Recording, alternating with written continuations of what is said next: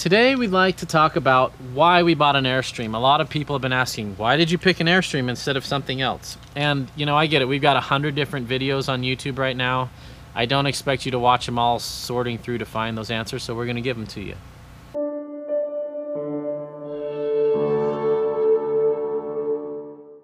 It was a really long process that helped us make the decision to get an Airstream, and at the end of the day, we could have picked from a number of rigs. Ultimately, it was just kind of we had to choose something.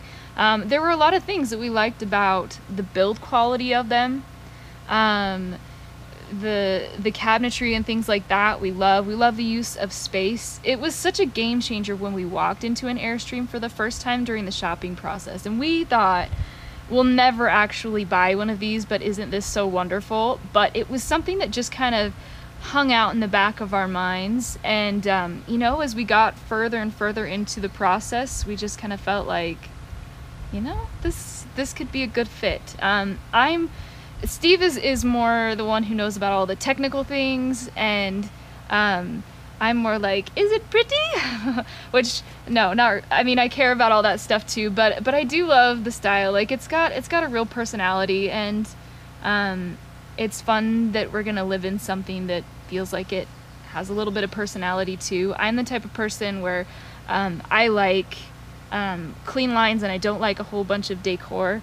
I'm pretty like creative and artistic person, and so I don't like having too much stimulation um, in my environment. And so that was one thing that I really liked about the Airstream was that there was plenty of scope for the imagination and um, just wasn't over the top. I had heard that they were great, but to be honest, most people haven't seen an Airstream. Even most people that RV haven't been inside of one.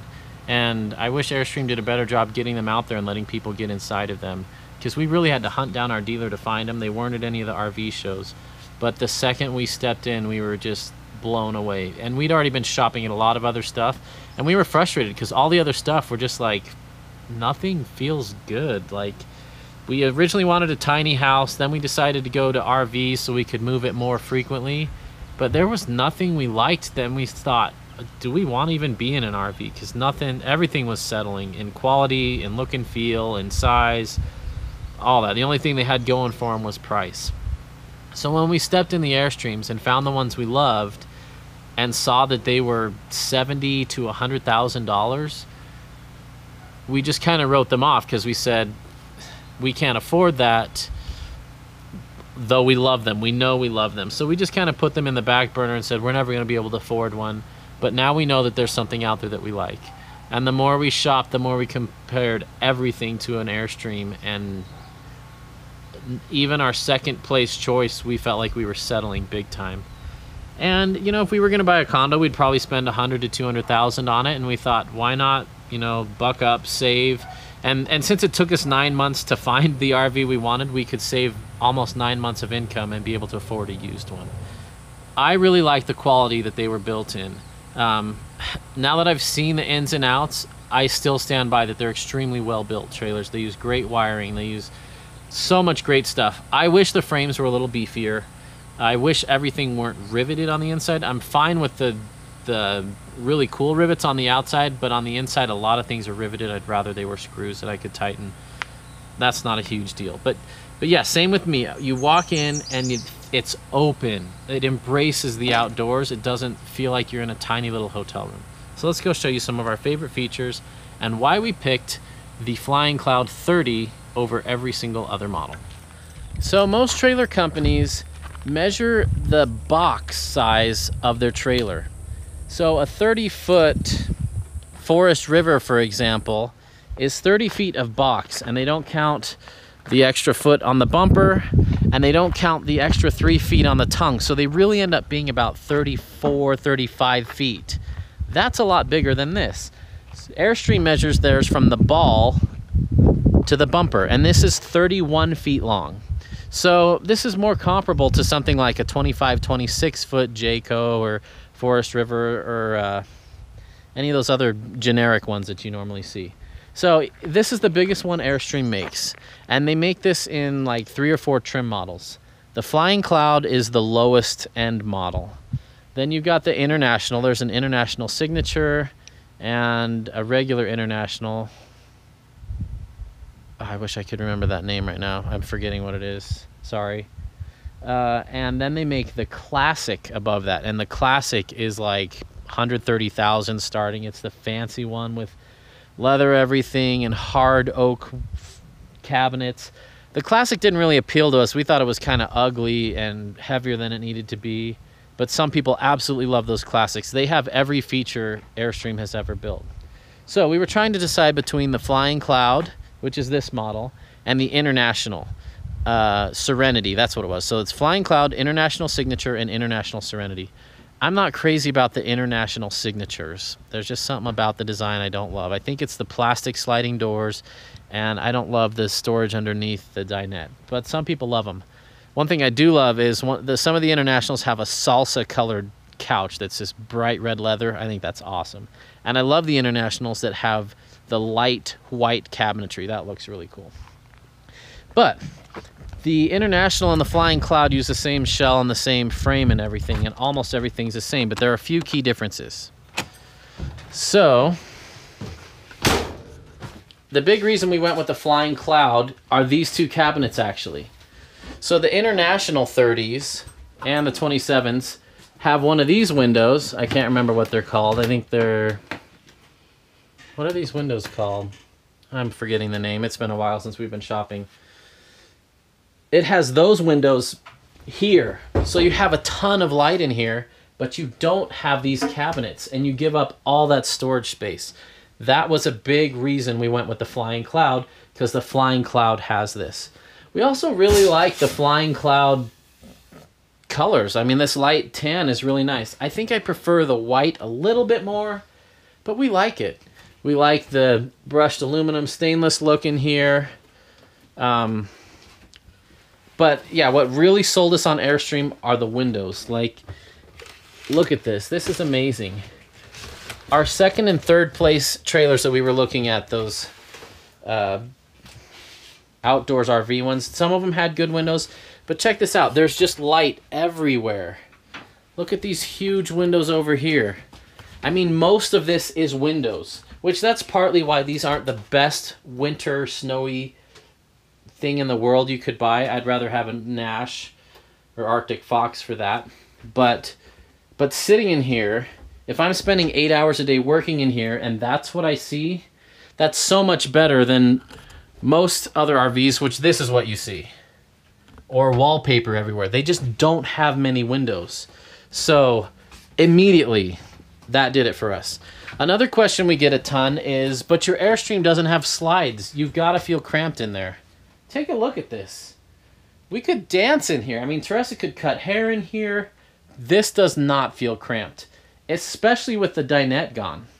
I would not trade this for the dinette for $10,000. I'd much rather have the desk.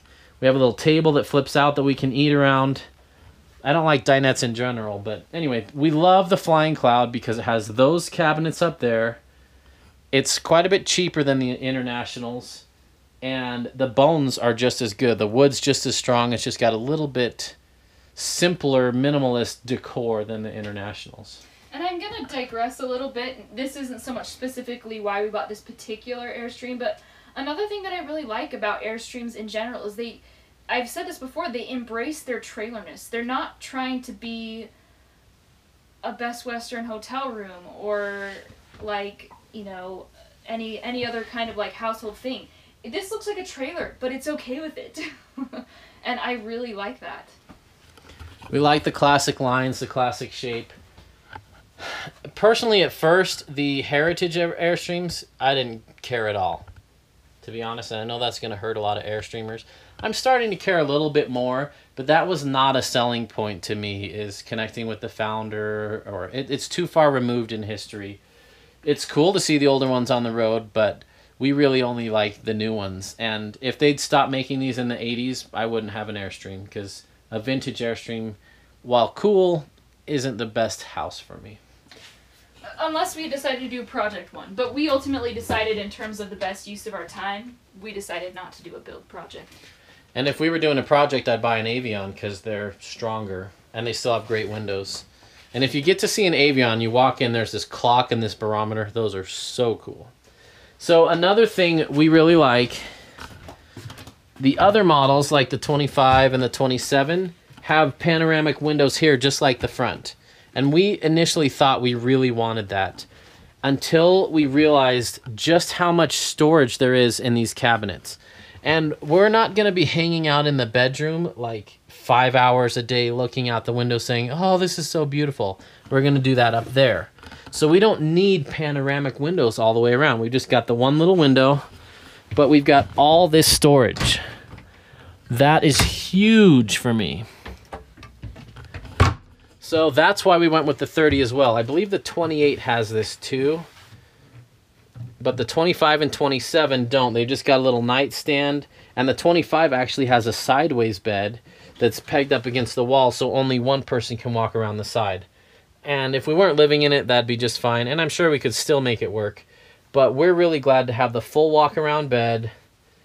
And having those cabinets in the corner buys us a ton more space. And I mean, they've all got this awesome storage under here, but we really like that.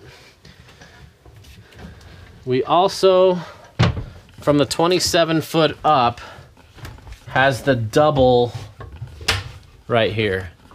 And that's that's really helpful. So the 25, the Flying Cloud and International 25s only have one of these for both people. So we thought that was worth it. It's a little bit more to tow, but we're only going to be towing once or twice a month. So we figure let's sacrifice a little more. I'm okay towing a little more, just taking a little easier when we tow to have a little more room because this is our house, not a weekend toy that we take out every once in a while to play in the woods. And Airstream, if you're watching, build more units with desks. Those are awesome. This generation is going to be working from them. And this was not built by Airstream. This is aftermarket and it's kind of cheesy and needs to be restained, but we love it. Do this instead of a dinette. And keep these couches up here. These are awesome. That's the way to go. Anyway, that is why we wanted the Flying Cloud 30 because it offered all those things that no other one offered. Part of us wanted to get the International Serenity because it's kind of the luxurious stylish, fancy one that you brag about. But we didn't buy this to brag. We bought this to live in and and also we we had narrowed down our criteria of which airstream we wanted to a pretty narrow criteria and when this one came up with the desk and it met everything else it was like bingo!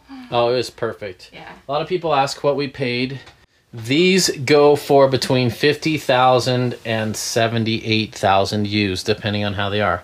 We paid somewhere in between that range. I won't tell you exactly how much that's personal, but that gives you an idea. And if you're looking for a deal on an Airstream, just kind of give up and just get a good one and don't just save a little more and get a great one instead of trying to find the absolute best deal you can find. So, let me tell you two things I don't love about it. I already talked about this a little er earlier. I don't love the blinds. I, they look awesome, but blinds rattle around and they get bent when you try to open these and they kind of hang out while this goes in. I would love some Oceanair roller shades like the new ones have. I don't love that it has halogen lights, but we swapped most out for LEDs. We just need to do the ceiling ones. I love the speakers. I actually love the subwoofer. I didn't think I would, but I love that. And the other thing I don't love about this model, and Denny, our salesman, agrees, is this awning is one giant 30 foot awning and that's really heavy. It puts a lot of stress on these points. It's kind of flimsy and I really wish, I don't know how they could do it, but maybe make it two awnings. And I wish the other side had awnings too. So when you're buying an Airstream, see if the awning is just on one side. Some models, oh, look at that, Class A. Some models have an awning over every single window. And we may want to add that in the future, who knows. But yeah, we absolutely love this trailer. Absolutely love it. Zero regrets, not even a little bit. Where every other trailer, we definitely would have been settling. So there it is. I have zero regrets about this trailer. Zero. It was the perfect trailer for us. I'm glad we took nine months and shopped around, learned about the others because it really made the Airstream stand out as as being different and unique in a good way. So this is our home. We are so excited for it. That's why we bought an Airstream and particularly the Flying Cloud 30. But your needs are going to be different than ours. Find what works best for you and don't rush it and step in as many as you possibly can.